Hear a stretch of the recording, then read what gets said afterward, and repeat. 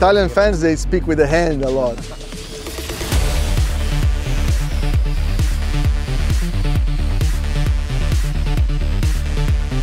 It's amazing to be racing here in Italy. Here's going to be a lot of strategy, a lot of energy saving, and a race with 300 plus overtakes. I think it's great to come to such a facility. It's going to be a permanent track, but with some uh, small adjustments to make it more like a Formula E track. And so energy management will be key.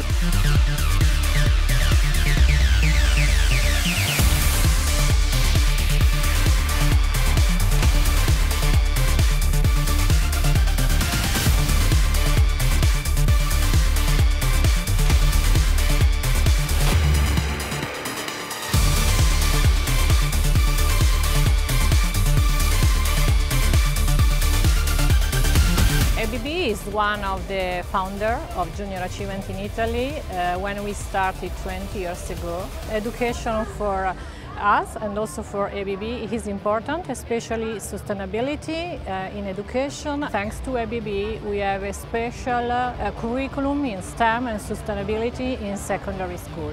It's important Formula E for us because we are so uh, happy to have uh, races in our country. And this is a great opportunity to, to open an eye on the future and on uh, technological innovation in mobility, which is so important for us in Italy.